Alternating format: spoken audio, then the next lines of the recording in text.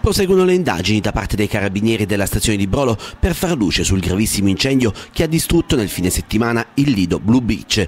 I militari dell'Arma, coordinati dal sostituto procuratore della Repubblica di Patti Giorgio Orlando, stanno lavorando assieme alla Guardia Costiera per chiarire le cause del rogo.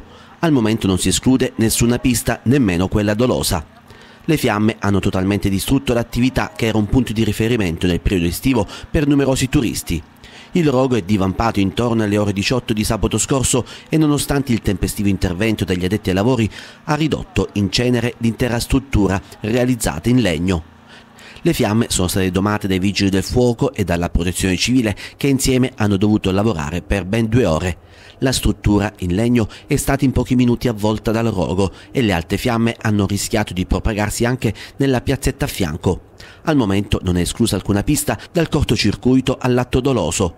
Nelle ultime ore, secondo indiscrezioni, quest'ultima pista sarebbe quella maggiormente seguita, ma al momento gli investigatori mantengono il massimo riservo.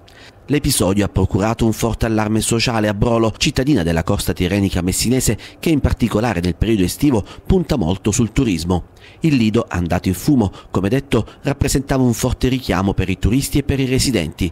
Adesso bisognerà capire se gli imprenditori proprietari del sito vorranno ricostruire la struttura prima dell'avvio della prossima stagione estiva.